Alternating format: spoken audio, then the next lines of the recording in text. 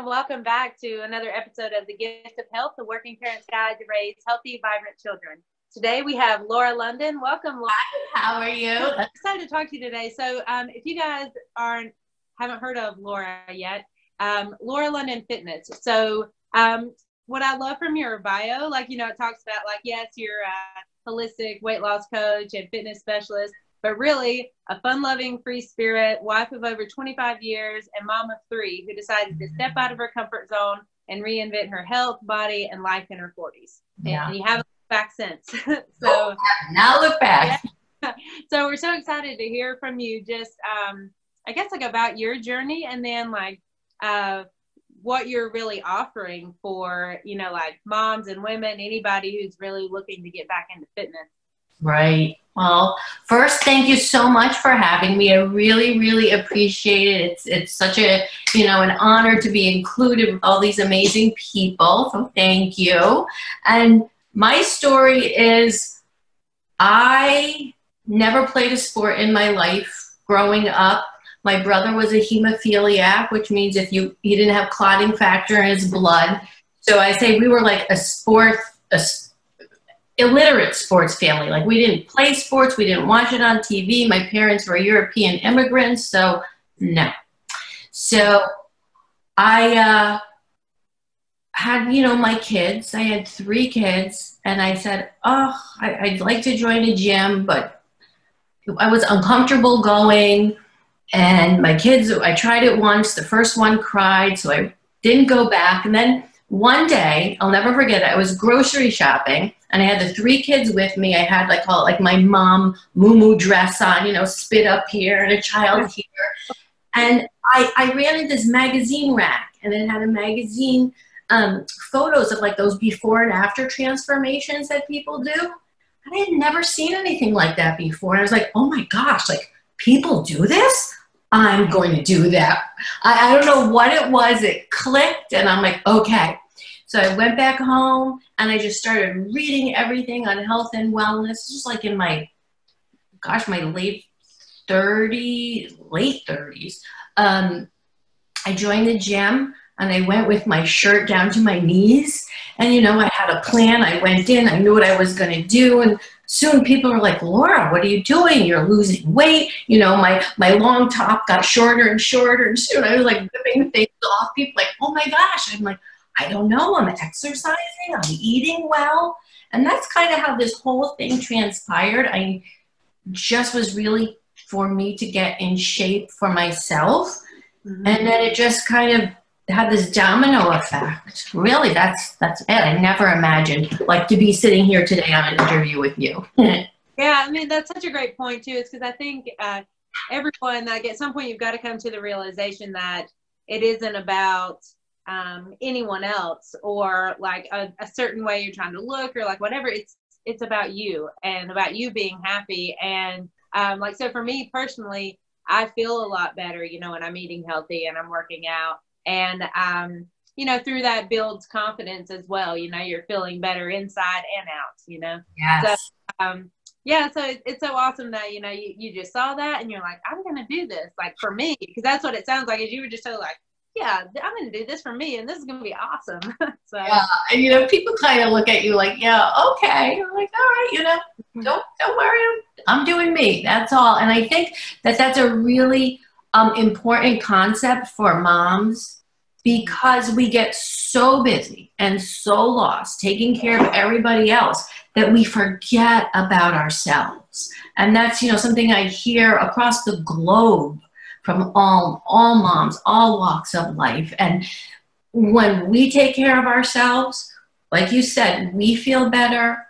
We are a better mom, a better wife. Everything runs a little smoother. So I always say fitness makes you stronger, not only like in the gym, but in every area of your life. Truly.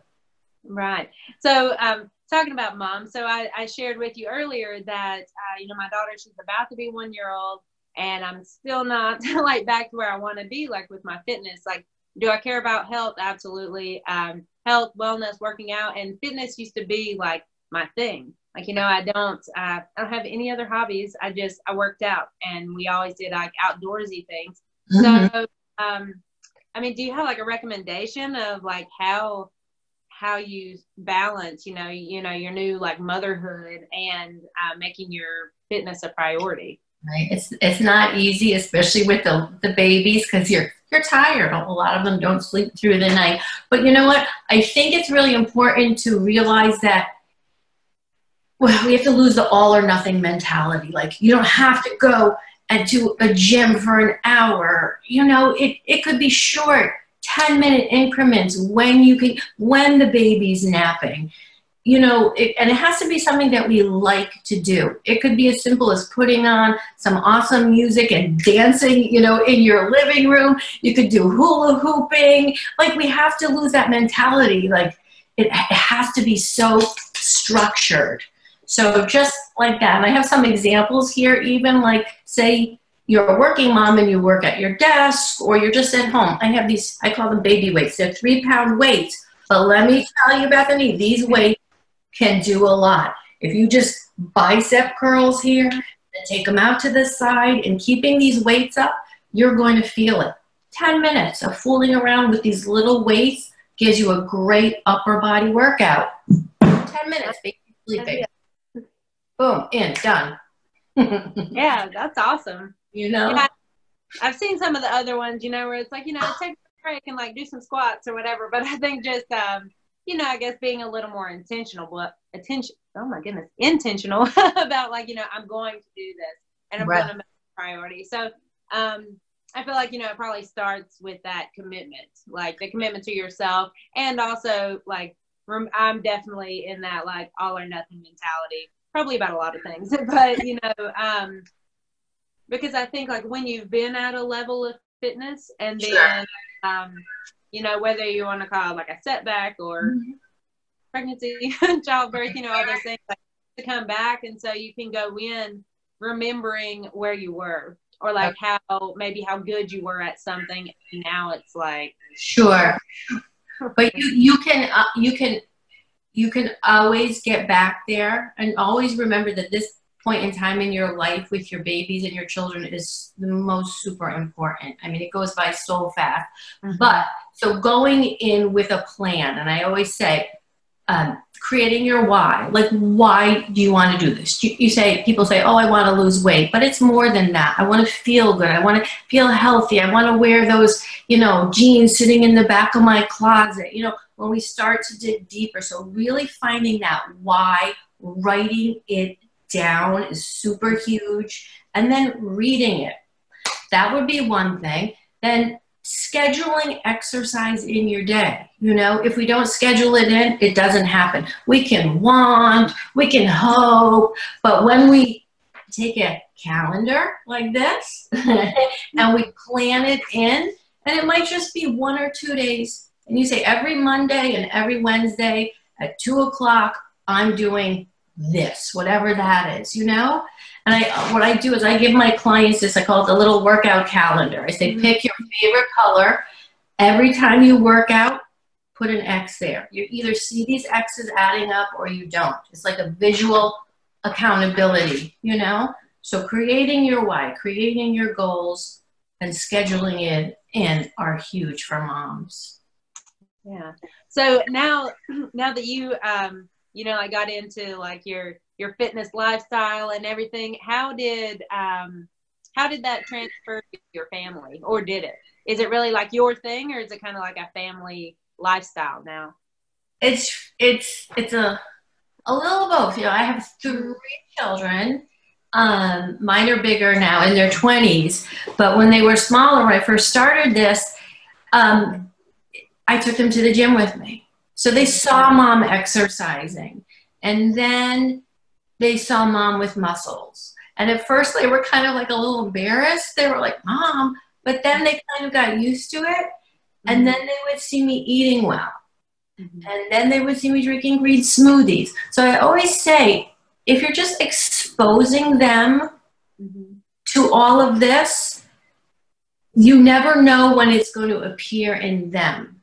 My point being, like, maybe my oldest doesn't really exercise that much, but she knows all this information. Mm-hmm. My youngest, who's now 20, is now a yoga instructor. She's drinking green smoothies, but that didn't happen like till like really a year ago.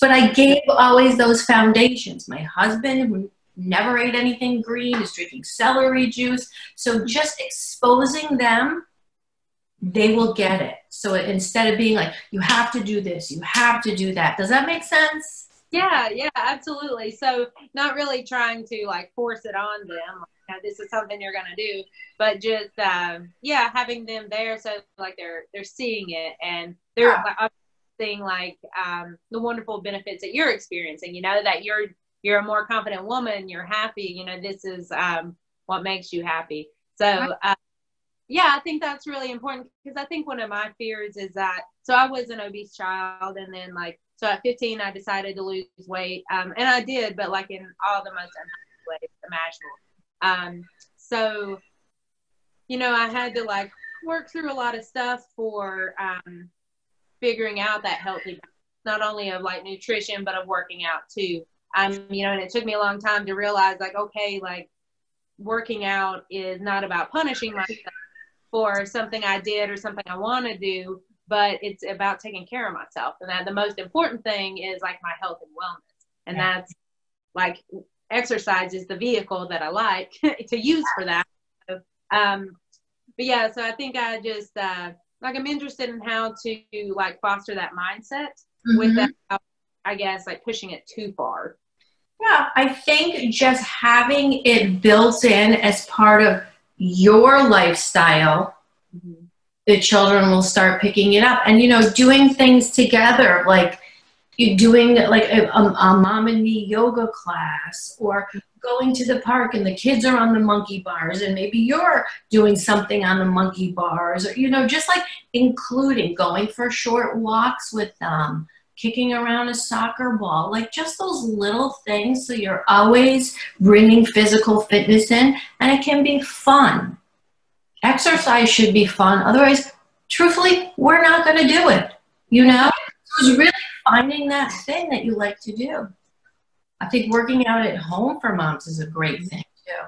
Yeah, absolutely. Because you know, you talked about like while the child's napping or whatever, so you're not going to have time to drive to the gym and do a workout, a full workout like maybe you do, and then come back. But yeah, I think again, like really trying to come out of that like all or nothing mentality, and um, yeah. you know, even if it's just those little spurts throughout the day, you know, they add up. So they uh, really, really do.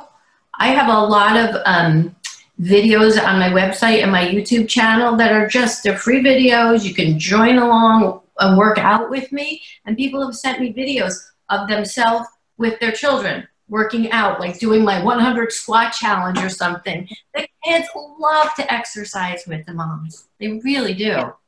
And that's a great idea too, like all the little challenges and stuff out there, like getting your kids involved in those. Mm-hmm. Um, so it's like something you're completing together. Uh, yeah, I think it's a lot of fun. And then, you know, a lot of the, what I like, what I used to like to do a lot were um, like the obstacle course races because I felt like, you know, like, why am I in the gym, like working so hard every day? And so, like, I used those as kind of like my like fun events to go kind of test myself.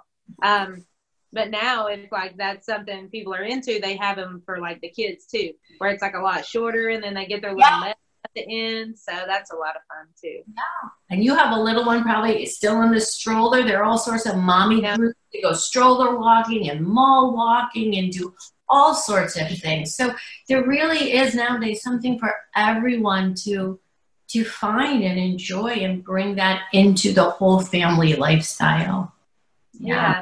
yeah. Um, I know one uh, one listener actually reached out talking about uh, more the the fitness aspects of this series and asking, you know, if what if I have a an older child, like say on the verge of like the teenage years, that um, they're they're more into their phone or they're more into video games or something like that. Um, would, would you have, like ideas of, of, like how they can uh, like get those kids a little more active?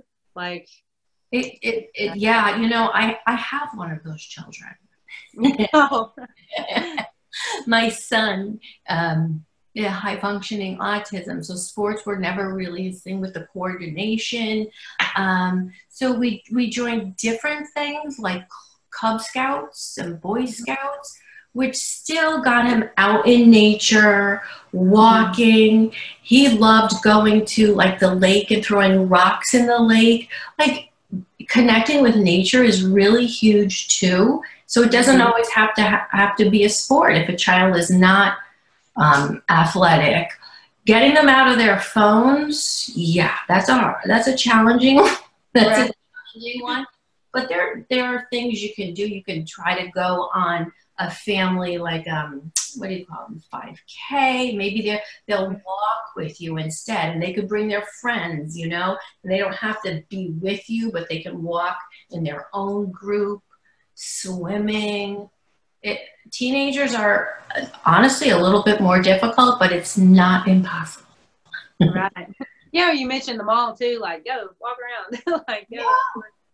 just getting getting them one of those um well they, a lot of them have the apple watches but like making them aware of tracking their steps. How many steps did you get today?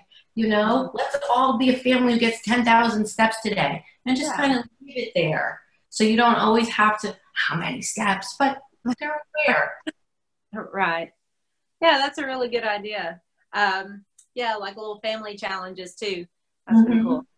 Yeah so um did you so were your how old were your kids when you really got into your fitness journey? Oh my gosh they were little. They were probably like gosh little. My youngest was maybe two so mm-hmm. probably like two three and five when i first started this whole thing I started with my oldest, tried to put her in daycare, she cried. Tried to put the next two in, they cried. By the time the third one came around, I'm like, you're gonna cry. That's great and very inspirational for like, you know, just uh, you gotta go do that, right? They'll be fine. They'll adjust. Nobody ever, yeah, they'll be fine. They truly will be. They yeah, will. I think. Um, so that's so interesting. So I, I want to talk a little more about your website. It's uh, lauralondonfitness.com, right? Yes. Yeah. So tell us a little about like the stuff you offer. Oh, I have lots of amazing stuff there. So I have um, workouts, and they're all in video form there. You can just log, not even log on, just go and see. They're all by category ab workouts, lower body. I have great recipes and a lot of them are me in the kitchen cooking so they're in video form because i always like to see how to do it.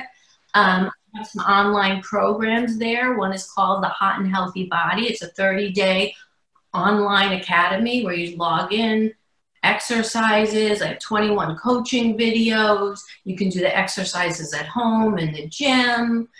Um, it's adjustable for every fitness level. I have some detox programs uh, and I have a lot of uh, yeah. freebie. I think my freebie is like hot and hot and healthy from the inside out. 10, 10 surprising secrets. Yeah. Oh, that's awesome. Yeah. So you really, you've got something for all of our moms out here. Whatever you're into, it's there. you can for find sure. it. Yeah. So what led you to, I'm just interested now, like what led you to like going from your fitness journey to being like, this is something I want to share? Um, um, you know, I think uh, I started, what happened was I, after I kind of started getting in shape, I hired a trainer at the gym. And I noticed her from this fitness magazine. Like she was in the fitness magazine. She did like all the gymnastics and everything. And I said, Oh my gosh, I'd love to do that, but I have like three left feet. I am so uncoordinated. She's like, Oh, you know, they just opened this sport. It's called figure. It's just an athletic look, and literally just stand on stage and pose. So she kind of took me under her wing, and then I started competing. And I, I did very well competing. And then people are like, you should um, videotape your training. I'm like, videotape it. And they're like, yes, put it on YouTube. I'm like, YouTube? It was like this big, you know, thing in space to me, YouTube. Sure. So I did. I made a videotape and I put it out there, and people started watching it. And then I started making more videos and more videos, and people kept coming, and then built the website, and it just, I've uh, I actually used to have a show for six years called the Fit and Fabulous Mom Contest, mm-hmm. where it was moms coming on stage. They had their own transformation. There was no bathing suits, nothing like that. Fitness outfit and an evening outfit. We brought the kids on stage. It was just to celebrate the mom and how amazing she is in her own, you know, transformation. That was a lot of fun. That's awesome. That's so sweet. um, oh man, that's so cool. Um, yeah, I think one of the things I think, uh, you know, people kept coming, uh, and I think a lot of that probably is, you know, like the the person you are, you're just, uh, you know, you're just the regular woman who decided to go on this journey, and I don't mean that in any kind of like derogatory way. I just mean that, uh, yeah, like you, you know, you're not someone who is always like you know super thin and fit and you're like doing yeah. you're, you're, someone who found your fitness journey like later in life but you're like i can still do this and you're rocking it right and uh, yeah, that's, yeah. that's I, really a connection piece that people can really um, relate to you on yeah because i think you know you know people are quick to say, oh, they, they see a person now, but they don't know where they came from or what their story or their journey is. So, yeah, I'm just a regular mom. I'm telling you, so uncoordinated, unathletic, and, and how I wound up here, you know, is really, it's been a, the whole journey has been a gift. And for me to be able to help other moms feel good about themselves, and if I'm can inspire one person today, you know, that's awesome. That's awesome. That's what it's truly about. Right, absolutely. So, just kind of recapping the things we talked about. We talked about, you know, get out of your all or nothing mentality and um, starting, even if it's just a couple times a week, right? So, um, what do you think's uh, like the best approach, I guess, as far as, you know, because there are all the different schools of thought out there, like cardio, cardio, cardio, which I feel like that one's kind of dying off a little bit. but you know, then you've got you know like the the HIIT workouts, um, and just like all these different approaches. So what what do you really um, like? So number one, something you enjoy. Number two is I'm a big proponent at you know we need different different exercise exercise I don't know at, in our 20s, in our 30s, in our 40s, and our 50s because our body changes. But I truly believe that the best thing is compound movements, like doing a squat and an overhead press at the same time. So we're using the lower body, we're using the upper body, and we're using our core. That is so smart and efficient, and that is how I train people. That's all, in all my programs. And then adding in cardio, if you really want to you know, take some more weight off, 20 minutes, high intensity, 30 seconds. It could be pedaling fast on a bicycle, then slow down. Pedal fast, 15 to 20 minutes, two to three times a week. You don't need more than that. What you want are the muscles which really burn the fat, shape the body, and make you feel good. Right. yeah, I remember um, there was a time when, like, I so I got into running when I was losing weight, and uh, I lifted weights too, but didn't I guess know a whole lot about like what I was doing. but um, so uh, but I did more like distant uh, distance runs, and then uh, I got went on uh, my first deployment in the military, and when I came back, I found this gym that was uh, like one of the boot camp gyms, and it's yeah. all about circuit training, and you know like every 30 seconds you're changing what you're doing mm-hmm. and going mm-hmm. from high to low and all this stuff and um, within six weeks of working out there, I just saw massive improvements that I hadn't seen in anything else I mm-hmm. tried. And then when we did um, like our semi-annual fitness test, I did the best I've ever done. And I was like, oh my gosh, there's got to be something to this. So I've been, you know, like a raving fan of, of that ever since. And I think it's really important to use, you know, weights, bands, balls, BOSUs, because they really challenge all your little muscles. And I always say we have to strengthen all the little things in the body before we can add like any heavy weight.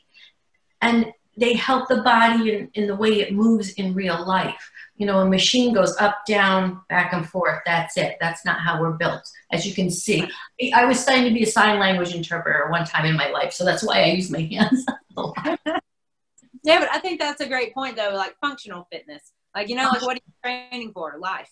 like, you know, you want to be like healthy and be able to like, especially for moms, like run around with your kids and have fun. You know? You'll laugh. I'm going to turn my monitor for a second. You see okay. all the bands hanging there, and there's my rebounder right there.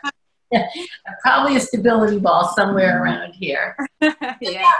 And you know, to be a mom and to not leave the house and work out, all you need is stability ball and a set of bands. I mean, seriously. And you'll see if you go look at any of my videos. Balls, bands, Bosus, I'm working out in the house. Chairs, you name it. yeah. All right. Well, Laura, thank you so much for coming on and being an inspiration to us all. I know it's definitely like an inspiration to me to like, you know, get back into it. Um, because just seeing like how like bright and fun that you are, I'm like, oh, I, I used to be that way. like, so, you know, it's a little more motivation to like get back into uh, the fitness side of a healthy lifestyle. So thank you so much for coming on and sharing with us today. You're so well. I'm going to leave you guys with one thing. I call it the red light challenge. Okay. From now, on, from now on, every time you're at a red light and you're in your car, you're doing booty squeezes. No excuses not to get the fitness in. You can fit it in anywhere. oh, that's funny. Speaking of that, the uh, the gym that I went to uh, for so long before I had my daughter, uh, one of my favorite things that the coach would always yell is uh, like when you were doing like some kind of like lower body workout, he would be like, uh, "Squeeze those buns, or no one else will want to."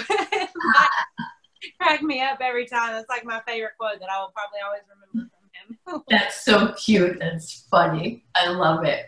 Perfect. Perfect. All right. Uh, so we leave you with that. That's right. Squeeze those buns at every red light. Every red light. All right. Thank you all for tuning in, and I hope to see you again on the next episode of The Gift of Health, the Working Parents Guide to Raise Healthy, Vibrant Children. Bye bye. Thank you. Bye bye.